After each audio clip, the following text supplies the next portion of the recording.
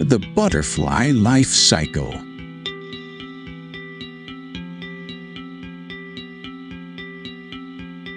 Our story begins with a tiny creature called a caterpillar.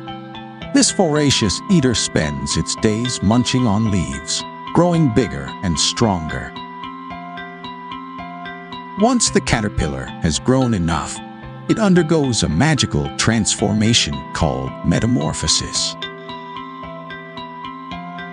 The caterpillar attaches itself to a branch or leaf and sheds its outer layer, revealing a smooth, protective covering called a chrysalis.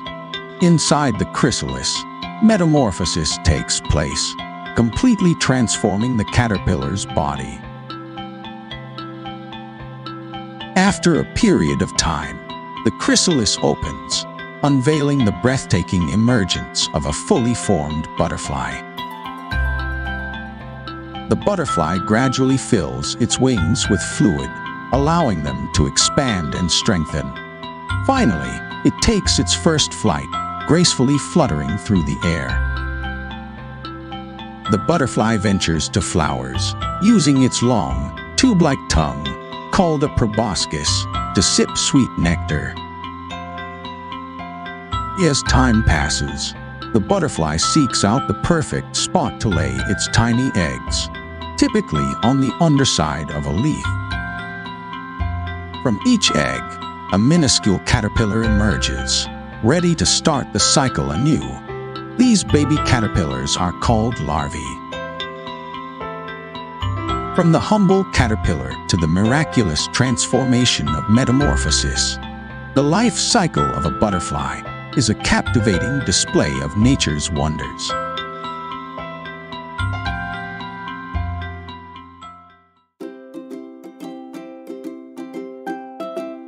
How many stages are there in a butterfly's life cycle? A. 2. B.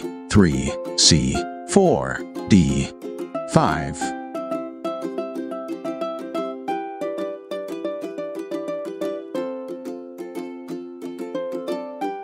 Four. What do caterpillars eat? A. Honey. B. Leaves. C. Seeds. D. Cheese.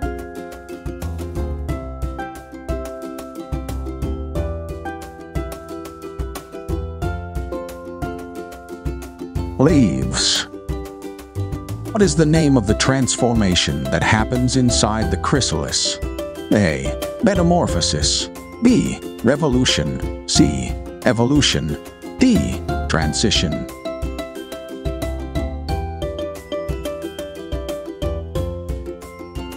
Metamorphosis. What is the long, straw-like part that butterflies use to drink nectar called? A. A tentacle. B. A snorkel. C. A proboscis. D. A sipper.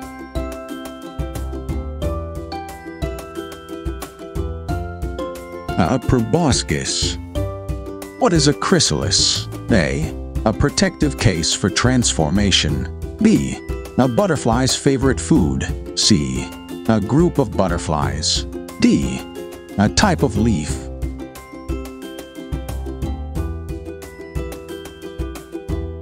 A protective case for transformation.